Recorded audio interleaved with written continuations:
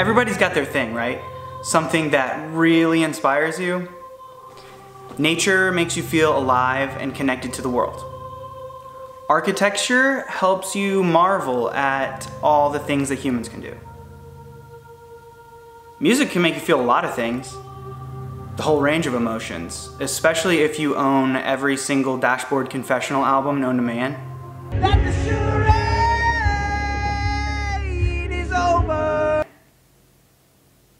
I mean, all that stuff is fine, but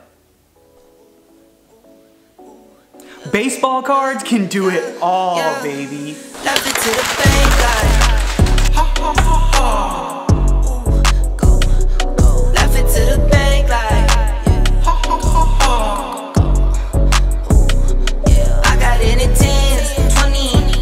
So I'm a huge baseball fan. It could just be me, but I do think there's something to be said for how cool baseball cards are and how anyone can find just a teensy bit of inspiration from a dusty box of old ball cards.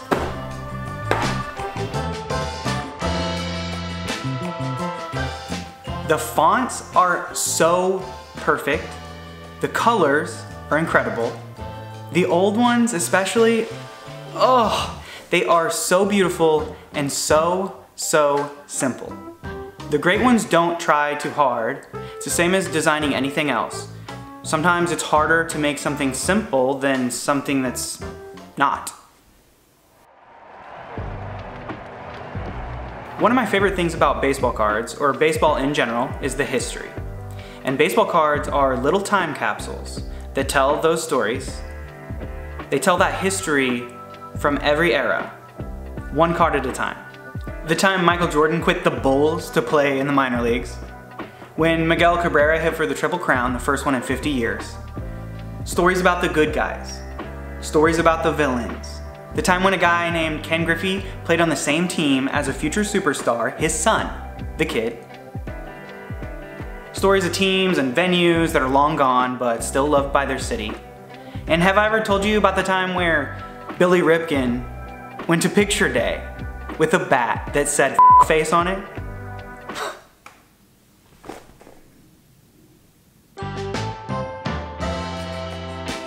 the standard baseball card is two and a half by three and a half inches.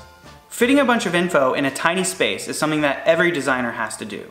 Whether you're making a magazine, a website, an iPhone app, a newspaper, a t-shirt, whatever, you have to work under rules and you have to work under constraints. And I just appreciate how much awesome shit that they pack into these tiny three inch spaces.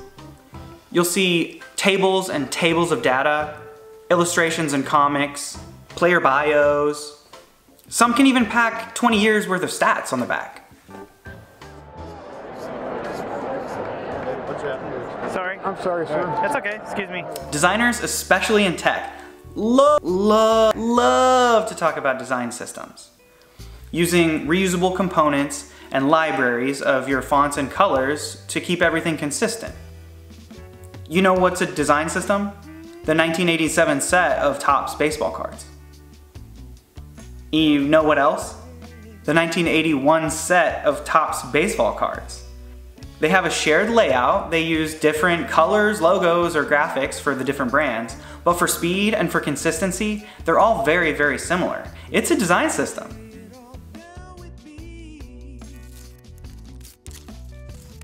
The last thing I'll say is that baseball cards are just fun. There's weird stuff in every set. People who aren't even baseball players, quirky pictures, lots of big heads. I love big heads fun designs and fun styles, sets that were made by random corporate sponsors, novelty shit like pieces of real jerseys, or that 90s parallax thing. Sometimes they're cut wrong, or they're interesting shapes. Itty bitty tiny boys. Baseball cards aren't afraid to have fun, and that is why I love them.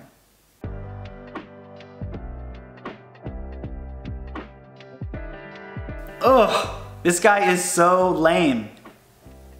Yeah, I am.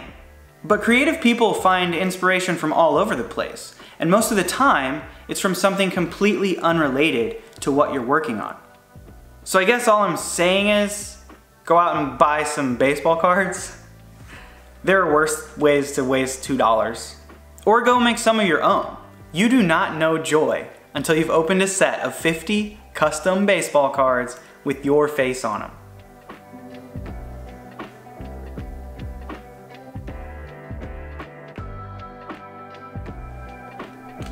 These are fun.